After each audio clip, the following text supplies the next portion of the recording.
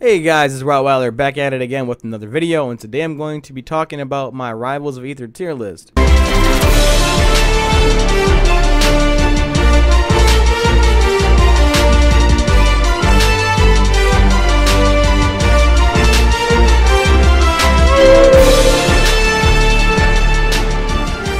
Or again, I did make a tier list on Twitter recently, and this is what it looks like on the screen, yes.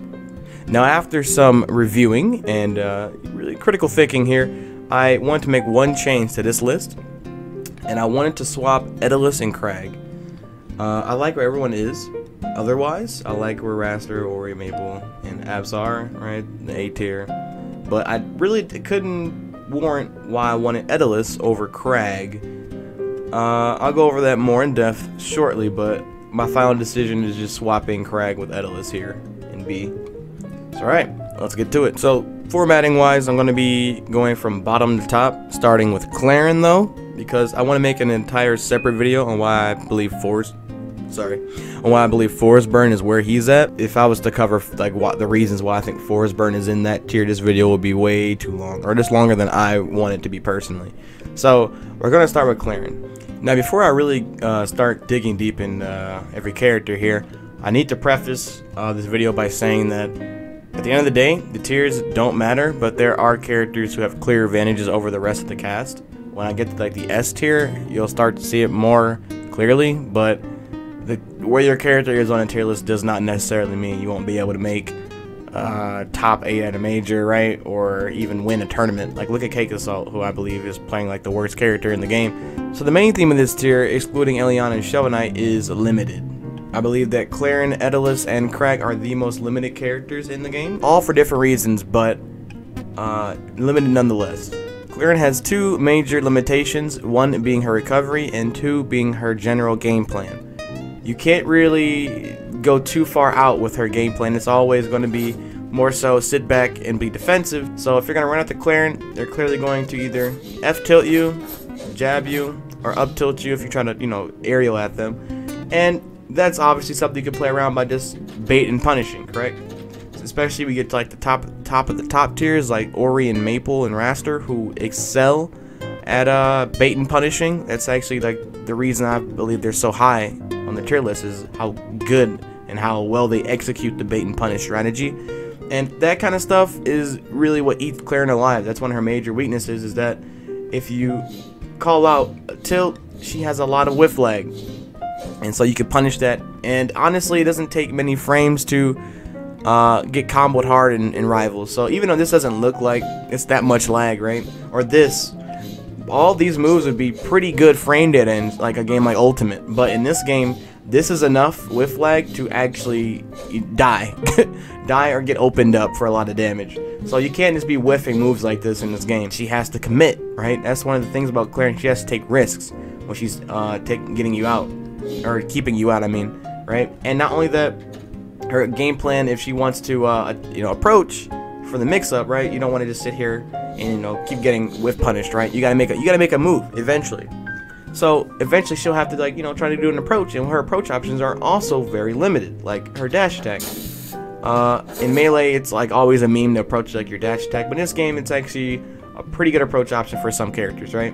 And her dash attack is no different. She has a very good dash attack, but again, if you whiff this move, it's a lot of lag in this game. It's a lot of lag. You cannot whiff this move like that. And the fact that it's basically her only grounded option to close the get the gap is very predictable. Like if they roll behind or parry or jump, well maybe not jump because it does cover a little bit of buffer, but if they you know just run away from like the tip range, you get you get max punished here, and it's it's not a good feeling. Not only that, but she has this Nair. This Nair is her other ridiculously good approach option, but even though this Nair is ridiculously good, uh, if it's your only option, it's still going to be very predictable, regardless of how good it is, right? If, if everyone knows you're going to do this move, it doesn't matter how good it is if they, if you can't land it. Her risk reward is not like in her favor, honestly. If I if I'm playing Sylvanos, right, and I see a Clairen try to keep me out with the F tilt, like I'm you know dash dancing, wait, moonwalking, whatever I need, right? And and I see her throw out this try to hit me. If I down tilt her, uh, like I, I run back down tilt, and that hits her, I get like 80 damage if I if I'm playing well, right? I get 80 damage. But what does she get if I if she hits me with this F tilt, especially if it's not tipper, she gets a tech chase at best, right? Which is good, but that's not 80 damage, right? Not only does she have to deal with, you know, her risk reward, her her very predictable approach options, but her recovery you know, here's the thing about Clairen's recovery, right? Clairen's up B looks ridiculously huge, and it is huge. Look, look at the hitbox on this. This is absolutely freaking ridiculous, right? I can't believe this is a hitbox in this game, and even the second hit is ridiculous. Like, look at that, to say the least, right? And with her other, you know, mix-ups, right? This whole like, you know, back air from the ledge or wall, side B from the wall. Seems like it's a pretty hard recovery to edge guard, but Clairen as the percents drag on, her recovery gets much, much worse. Why is that? Um, it's because she goes further as she's knocked away, and Clairen doesn't have an option to close the distance to the wall that conserves her resources. She almost always has to jump or air dodge to get closer to the wall as the percents drag on. So eventually, when you'll get to the percents where she has to do a recovery like this because she's wasted all her stuff, barely gets to the wall, and has to do this, right? And that's awful because as the opponent, because she has to land with all that lag, you just wait and then you punish the landing. Or even if you have a character like Absa who doesn't actually care regardless of her percent, right? Again, another reason why Absa is one of the like the, uh, the S tier characters I put in that tier list is because these characters have options that kind of like ignore some of the other characters' options. Like Absa's Cloud does not care about this insanely huge move. Absa's projectile, I think, is the only projectile in the game that cannot be beat by an attack. So, this is really nice and all, but that little cloud will knock you out of this hits uh, out of this ridiculously big move and knock you toward the Absa for a kill confirm or knock you back off stage to where you just start eating 5 damage per cloud. Now I am by no means an Elliana player, but uh, every time I've fought in Elliana, except for a highlight, uh, it's been pretty free. I don't want to say free, that's kind of mean, but it's been pretty free. It just seems like the character has very, um, what's the word I'm looking for? Polarizing, like a very polarizing kit, right? Her her strengths are extremely strong, and that has to be like her, her combo game, right? And her camping game, once it gets started, this steam cloud here is extremely obnoxious, right? And it can control the neutral very well against certain characters, certain matchups, right?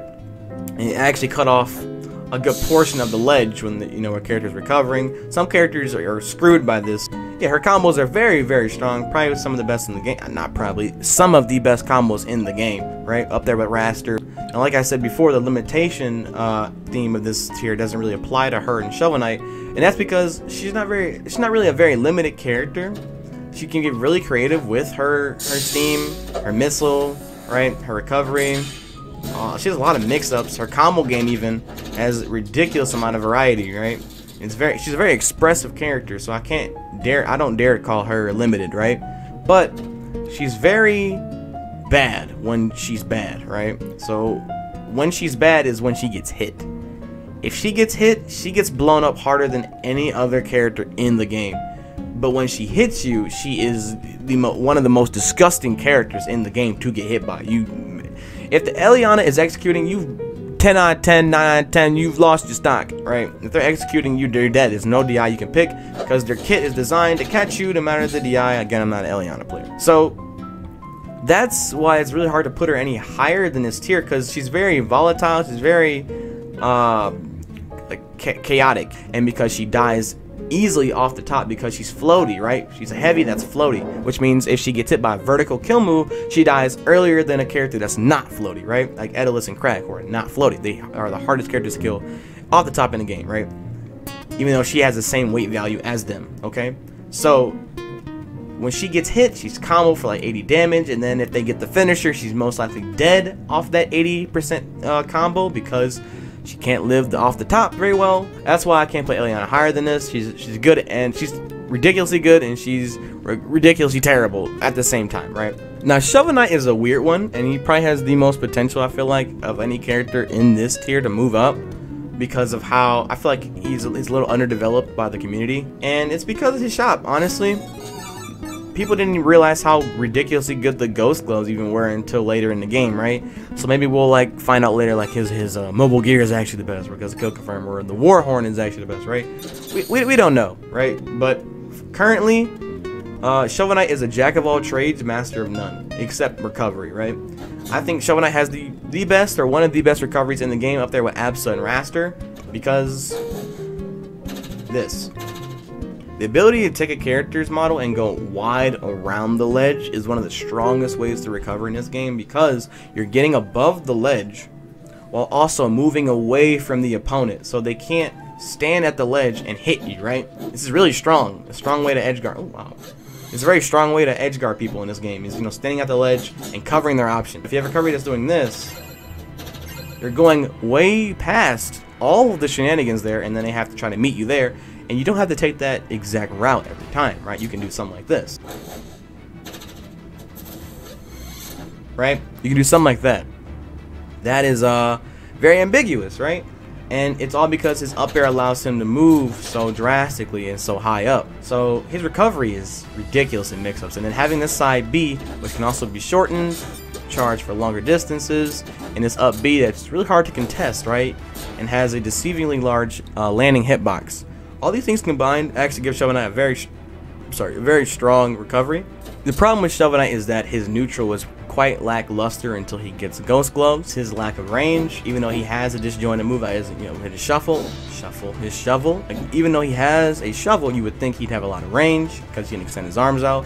But honestly, the only time he really has a lot of range is with his F smash, because that's the only time he really extends the length, the full length of his shovel. Meaning that you're kind of using a worse or a smaller Forsburn knife when it comes to your range. So yeah, not too much to say about Shovel Knight. Like I said before, I think he has the most potential out of any character in this tier to move up. Okay, so moving on to Etalus. Uh, like I said before, I used to have Etalus as like the top of this tier, and then I had Kragg right below.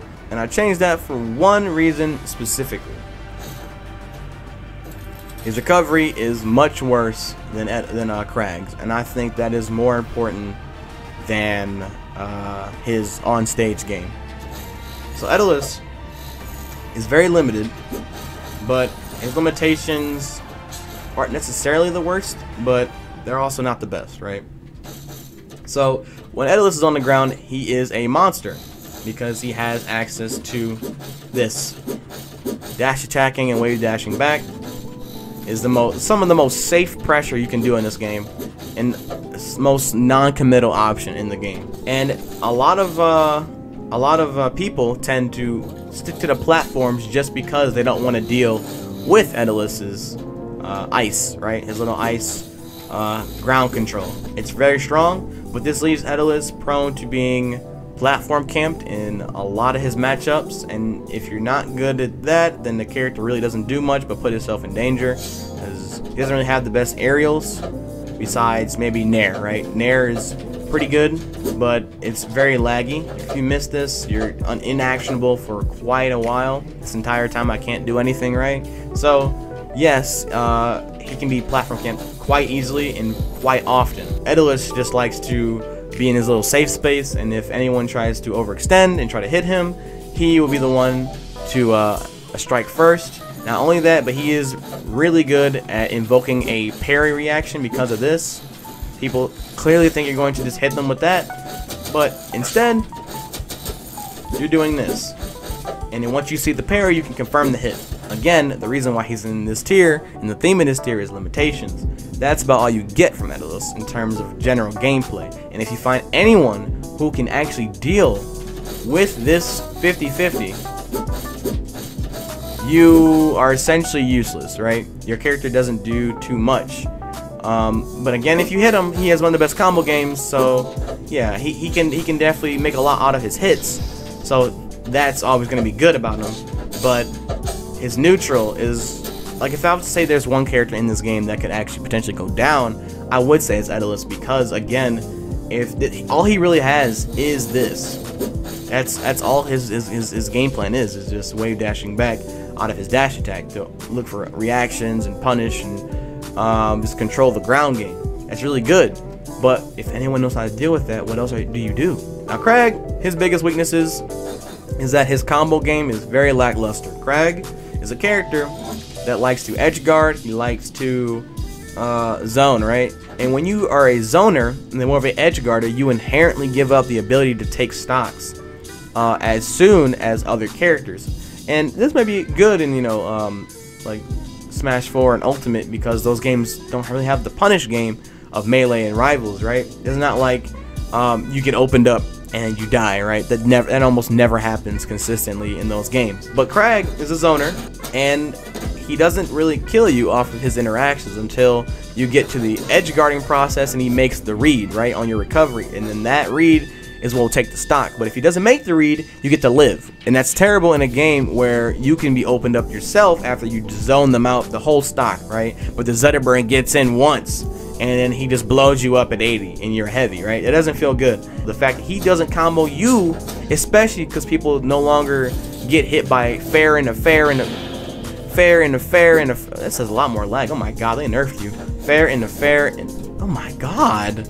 Fair into fair into fair, right? That's no longer like a thing you can do to a lot of people consistently at all anymore. Like back in the day, that would be Kragg's main combo, right? And it would make him seem broken. But no one's getting hit by that anymore because we know how to DI now. So Kragg's uh, output in terms of combos, he's not. He doesn't really have it. So he's he's kind of this uh limited. He's limited, right? And those limitations are a big deal when it's a combo limitation. Now Orcane, I think I actually have in a perfect spot. I mean, feel free to argue with me if you want, but Orcane has shown offline and online through Zaro and Ralph and Dolphinbrick to always be a really strong tournament threat. I mean, obviously, to say the least, the down smash has shown it that, that Orcane has an extremely reliable kill potential, even in the most highest tension tournaments. And his control over the ledge is ridiculously strong because of the bubbles, right?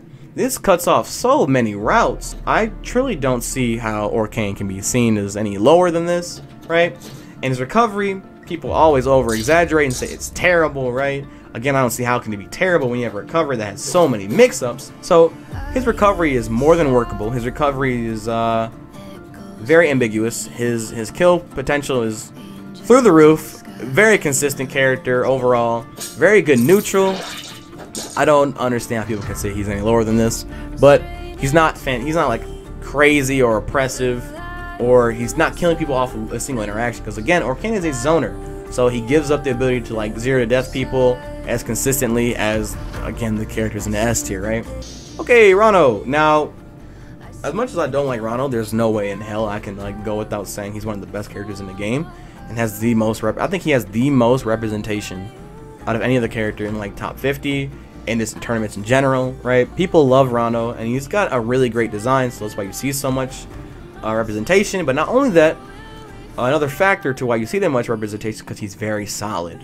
He's very reliable. One of the most reliable characters in the game because his kit is super consistent, right? There's a there's few there's few inconsistencies that happen with Ranno, right? Maybe this down air, right? But this is a move that's not really used too much in the first place, right? This up air can be a little inconsistent, I guess, but it's, it's so it's so like rare when these when these occurrences happen that uh, the character doesn't really mind it, right? And his neutral is some of the most control oriented and just lockdown neutral there is up there with Absa because he has the darts, right?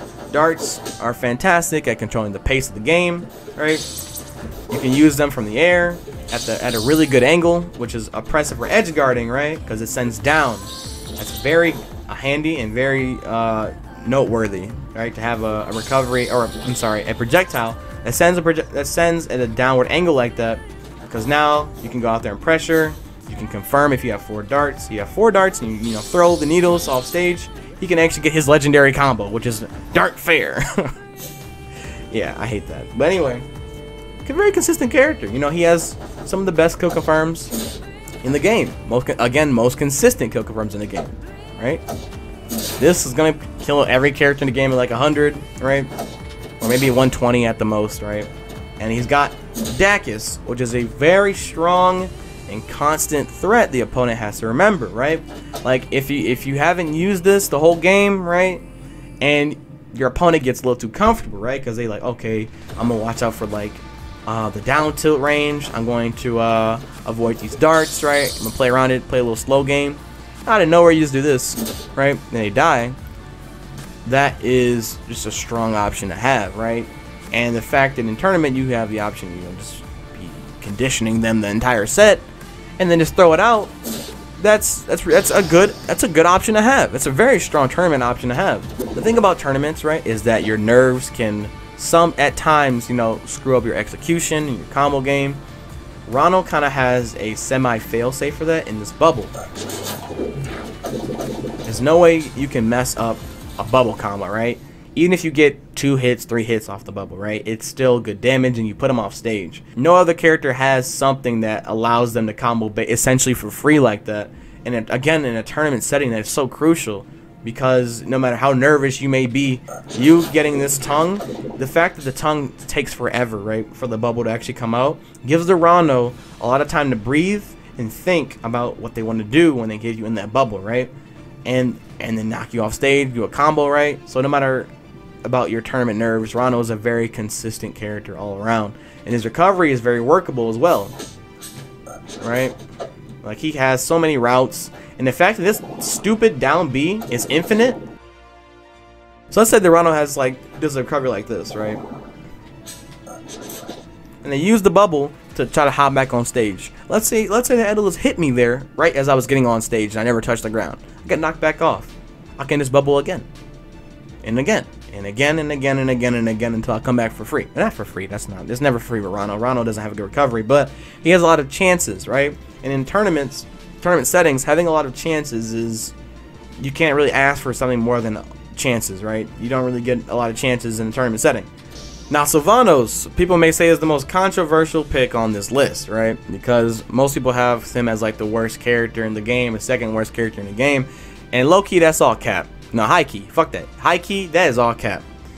There are like three, four, three to four Sylvanoses making constant top eight in the online brackets and the maybe not offline because actually no, Giga Bowser still does some work offline and so does Flary, right? Zora TK, I haven't seen him play Sylvanos too much offline, right? But still, the results are there, right? Because I know the character's kit so well, I cannot say that this character is bottom two or three. The character has disgusting uh, damage output. Sylvanos has very good ground speed. He has a ridiculous keep out. He has a decent boxing game, which is a lot to for a character who is so strong at keeping people out. The fact that you even have uh, any uh, resemblance of a boxing game to begin with is absurd. Because this means that your opponent, uh, after they get through all your your BS, right? All this this range is absurd. They get through all of that, and when they finally hit you, if you tech in place, you may be able to jab and hit them. It's not the best jab, but if that jab hits them, you get them off of you essentially, and that's all you can really ask for. Who cares if you get a combo off that? You're a zoner that got your opponent off of you, and you're heavy. You're heavy. So even if they hit you time and time and time again, you come back, you come back, and you come back, and it's so mentally exhausting to fight a Sylvanos who knows how to recover, who knows how to DI, who knows how to keep you out. It's so mentally draining. This is why I think Sylvanos is a good tournament character. He's so heavy that you can make constant mistakes, constant mistakes, and still uh, get another chance. You're heavy. You you have so many mixes on the recovery and your combo game is disgusting, your keep out game is disgusting, your boxing game is workable, right? It's decent, workable. You can use it. And your ledge trapping, let me don't, don't get me started on his ledge trapping. These seeds are so obnoxious, right? This back air, back hits through the stage, even if they, they somehow get to deal with the seeds. You pressure them off stage very well. Uh, your up air is your most consistent kill option, and it kills so many people so often. It, you can screw up their DI with it if you cross them up. The character can kill, people just over exaggerate, right? Yes, there are going to be times where you do struggle, like uh, Clarin, or even even Wrastor struggles to kill at times, right? There are times even like the best characters cannot kill you. Absa is a character who can't kill you all the time, you know, whenever. She has to build up your percent to like sometimes some some obnoxious amount until she can kill you. And she's again one of the best characters in the game. So just because you do have trouble killing sometimes doesn't invalidate the fact that your neutral is powerful, your your kill moves are powerful, your your your spacing tools, your your edge trapping, your your your your, your heavy recovery. Like there's so many positives about Sylvanos. I don't understand how people can just say like yeah he's the worst top like bottom three. It doesn't make sense to me. Zetterburn is fantastic. He has fantastic movement speed, super fast on the ground, great air mobility, not Ori level airspeed, right? But you are always good in the air. You're always good on the ground. Your neutral is fantastic because of your speed, right? You'll, you'll start to see here that, excluding Absa, every character from here on out is going to be very fast. Sylvanos is already very fast. So, because you're fast, you're now able to position yourself uh, better than and faster and swifter than other characters. Now Zetterburn's biggest strength has to be the fact that no matter how heavy you are, he can kill you early. So even though you're heavy and only at 100%, you're still going to die to Zetterburn. So that's his biggest strength, is, is, is his strength. that's his biggest strength, right? And him being super fast, having amazing frame data. If it comes down to just the speed of your attack and who's going to hit first, Zetterburn's going to hit you first, especially since he has a frame to shine, right? That's the fastest move in this entire game. So speed in terms of his, his, his like movement and his attacks are very high. He has extremely strong kill moves. Well, and by kill moves, I really mean his up smash. But there's so many ways to convert into his up smash that doesn't matter. It's like his only kill move because even though this is technically predictable, oh yes, I know this Zetterburn is going to up smash me. It always comes more down to, alright, uh, if I get hit, I'm going to get up smashed. Not to mention Zetterburn has some disgusting DI traps like this Nair. This Nair is so good because most times people get hit by multi-hits or just attacks in general, they're going to be holding down and away. Why? Because they don't want to get hit by the follow-up move and the move after that and the move after that, right? That's getting combo. So Zetterburn has this Nair, right? And after Nair 2, you can fair them. And you can't get far enough away from the Nair to even avoid the next hit. But people are holding out regardless because they don't want to eat like max damage combos. And if you fair them on that DI, they are soaring out into the damn ballpark, right? It's just the fact that Zetterburn is so, so fast, so strong, and his moves are so fast. That's what makes him such a powerful character, right? So if you're still here and we've gotten to Absa, uh, you get to hear the thing I was trying to like, I was hinting at previously in the video, and that is what top three characters of this game have in common.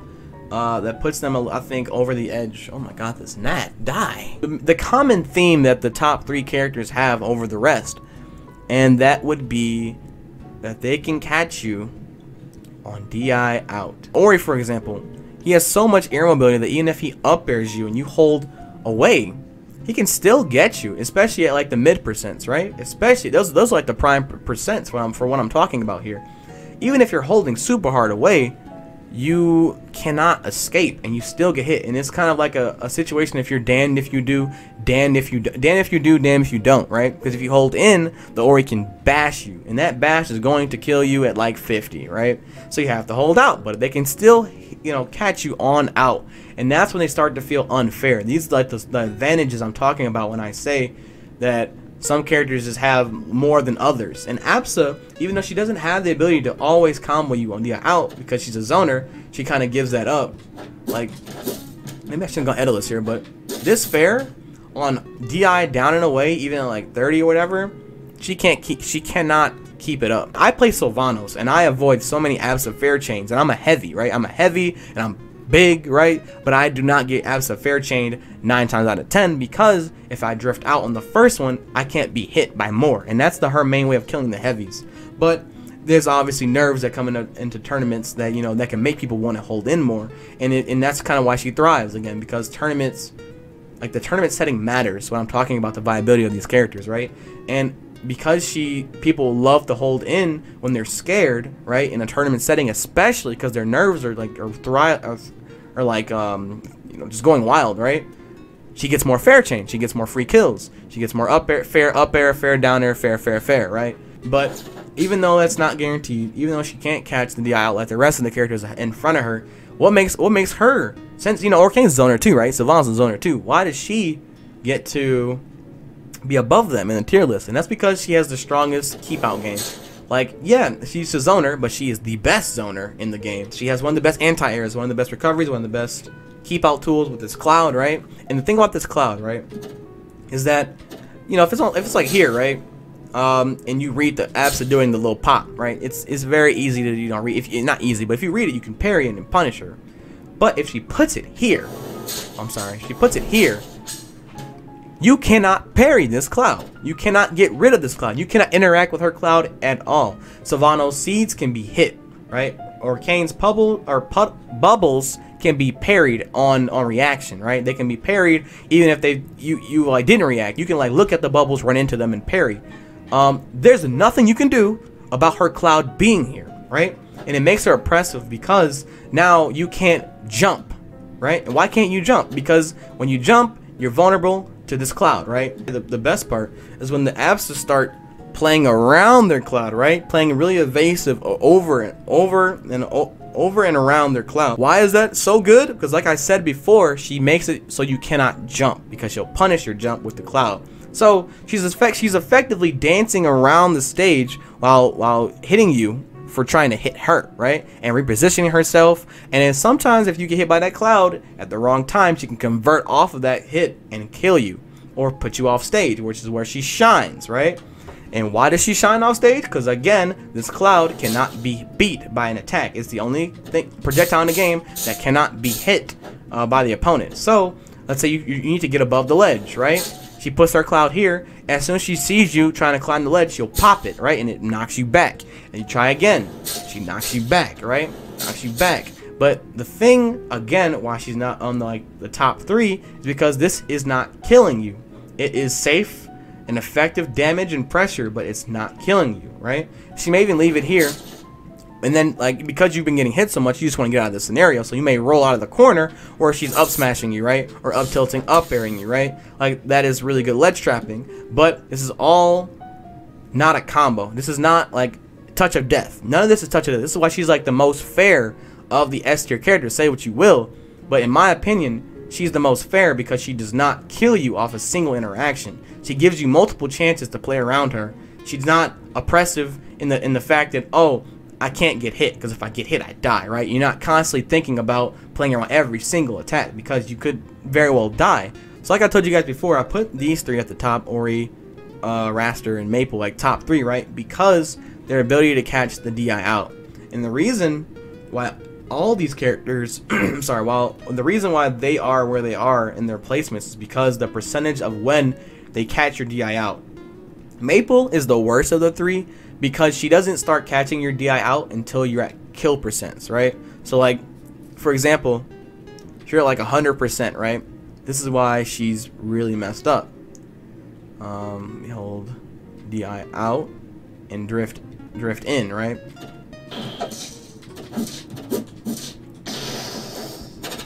That is why, right? Now, if you had held in on this near, this is what would have happened to you. Hold on. Right? So that's what I mean by even if you hold out, because you don't want to be fared, right? She can still reach you. albeit she does have to set you up with a mark, right? But with the fact that she's, it's from a projectile or her side B, which is very fast, right? It's not too hard for her to set that up. If you hold out you're you're screwed. And if you hold in, you're still screwed. Previously, I mentioned that Elliana had the advantage of the top three. She just has a lot more weaknesses than them. Um, this is what I meant. She can still catch you if you hold down and away, right? Maypul, even if you hold out, she can still kill you, right? She's very fast on the ground. She has a great neutral because she can put down this plant here and play around it, right? This plant will snap at you if you get hit by it, right? allowing her to do more setups. So you, you don't want to get hit by this. You have to deal with this by parrying it, right, to get rid of it. But the Maypul, when you're running to it, will hit you, right? And that becomes a 50-50 of, am I going to run up and try to parry the Maypul, or do I want to run up, try to hit the Maypul, or run up and try to parry the lily, right? and that is really strong. And then it's even worse when they put the lily up on a platform because now you have to be very execution. This is where execution comes in. You have to be very sleek, especially if they put on like a smaller platform than this. You have to waveland and then and then run up and parry it um, at a space because if they put on like a really small platform, you have to be very fast with that because the lily's going to snap at you immediately once you get in her range. And that will leave you open for Maypul to get in on you because she's so fast even though you might be like, she might be this far away, she can get there very quickly. So she becomes really obnoxious by putting this down, cutting off, like Absa, cutting off parts of the stage, or, or making you not want to jump certain places because she has this. And then she's also very fast, right? And her combo game is very good. Ori, uh, Ori is the best character in the game, or one of the, either either him or Wrastor. Probably give it to Wrastor to be honest, but he's the second best, I'll say, at uh, bait and punish because he has this orb. Sein makes a lot of approaches very ambiguous from Ori because at one moment he can be here, choose not to attack you, wait for your parry, and then Sein will follow because Sein follows Ori. Sein will be thereafter, so I can run at you, wait for the parry, you don't parry, I release Sein, Sein punishes you, and that could convert into a combo or just secure some damage and save pressure, right? And Ori is also extremely fast, especially in the air especially in the air. And because he's so fast in air, he can link together. Like, I, I died because my air ability. I could have, if, if the Etalus lived that, I still would have hit him. And Ori can do that to you regardless if you're holding out or in. Once he reaches a certain part of the stage, you have to hold in because then you'll die to a back air. Right? You can't hold in on Ori because they'll bash you. I want to make this pretty quick since I think the video's been going on quite a while. Wrastor is the most broken character in the game and I had to watch Blue to remind myself why I used to keep him number one. Yeah, this character's zero to death potential is ridiculous and it's and it could be off of the smallest mistake you make in neutral. This character can can kill you, but it does take skill. Like obviously Windows isn't doing it nearly as consistent as Blue, right? Windows uh, has a different style of Wrastor, which I don't think is as effective as blue style Wrastor, because blue style Wrastor actually emphasizes the part where oh you messed up in neutral, you die for it, right? Windows is more like I'm gonna like play more patient, I'm gonna get my hits in where I can and kind of like reset. Blue does not reset, and that is where Wrastor shines because Wrastor has the ability to kill you. So why not kill them, right? Not only that, but Wrastor has one of the best recoveries because he just does this, right? If you don't parry that as a free recovery, not only is that a free recovery for Wrastor, but he can also combo you off of that. For example, like that, right? Everyone's been hit by that. Hold on.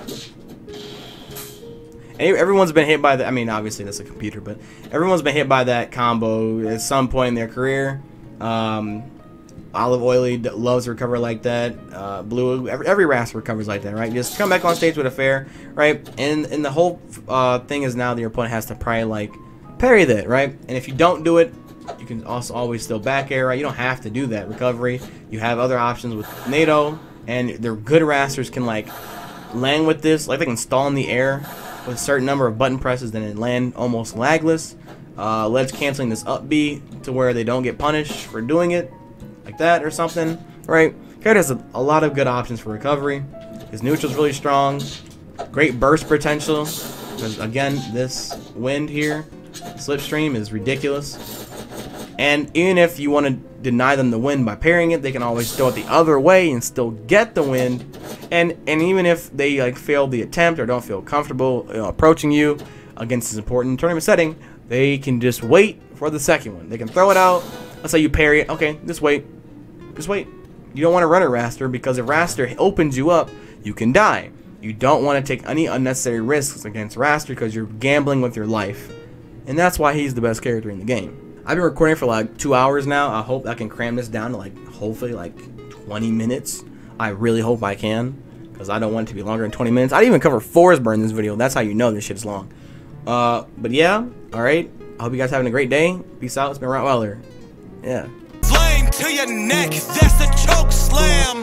Call to assassinate your whole fam. Absa in the back. She making sure this shit electrifying. Lyrics over. He so now we gotta send that flying. Crash.